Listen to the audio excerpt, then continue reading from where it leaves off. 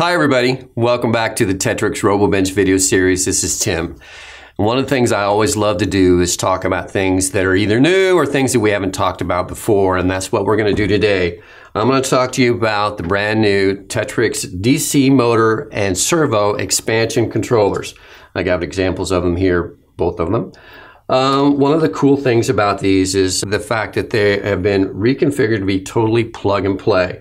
They both come with uh, all the cables that you need, and it's a simple matter of going ahead and just plugging those in just like that, and plugging the other end into a, a power connection or the motor connection. They have uh, the actual data cable that comes with them that is allows you to connect it to whatever controller that you want to, and we'll talk about more of that in just a minute. But let's go ahead and break down the specs of the expansion box, expansion boxes themselves.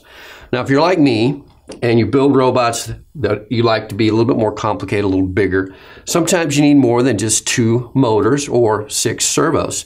That's where these little things come in handy. Uh, with each box, and you have a DC and again the servo, uh, you can add two motors and two encoder ports. So if I've got four motors that I need to put on my robot, I can add one of these boxes and totally take care of that.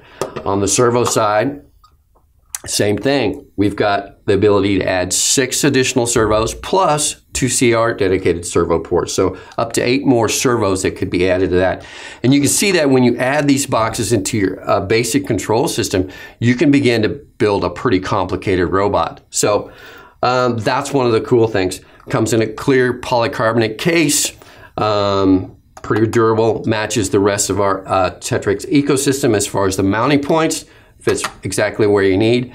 So um, again, really cool items. I can daisy chain up to four of these. So in other words, if I had uh, in different combinations, I could put a DC motor, another DC motor, servo, and a third DC motor if I wanted to. So up to four can be daisy chained together and uh, used really simply with the control system.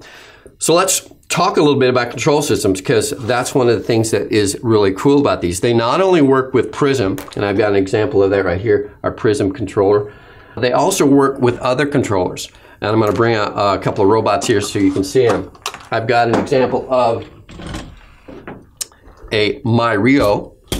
So if you if you build a bot for, uh, for instance, the WRO competition, I can add the expansion controllers. Again, daisy chained up to four and build a complicated robot with that. Or if you're an EV3 user, you can mount those on a robot with the EV3. And again, you have the ability to use the Lego controller, the Tetrix build system, and the DC motors and servos with that. So again, a really powerful way to add to the different controllers. Software support, again, we've got native EV3 blocks that will work with these expansion boxes. We've got a LabVIEW toolkit that will work with uh, the expansion boxes with LabVIEW. And of course, we've got software support in our own proprietary library that goes into the Arduino IDE. So again, we've really tried to make it really easy to use. You've seen those. Let's give you an example of how they work. I've got my PRIZM bot right here. I'm going to go ahead and turn it on.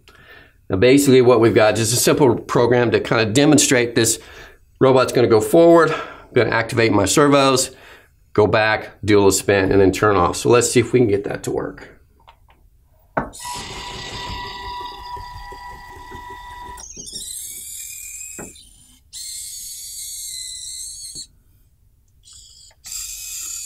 Just simulating I've gone out and grabbed something. Come back, do a little spin. And there we go. So again, you can see how easy these things are to use.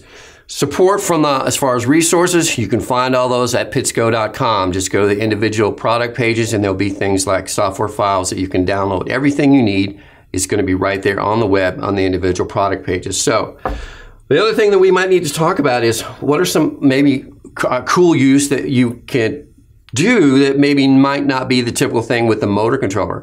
These DC motor boxes, because they are a 12 volt output, they can be used to do things like control lights. So if you think about that, that all of a sudden opens up a lot of possibilities where you can program lights.